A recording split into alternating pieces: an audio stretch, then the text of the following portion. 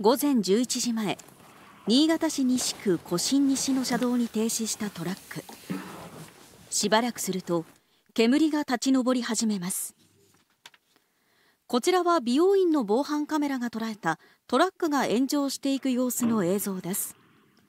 徐々に多くなっていく煙の量。さらに。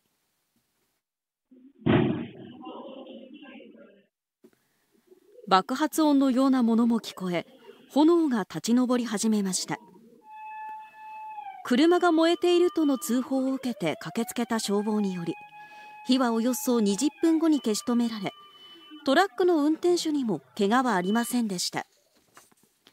警察によりますと装置の異常を察知した運転手がトラックを止めたところ炎上したということです。警察と消防は助手席と荷台の間付近から出火したとみて原因を調べています。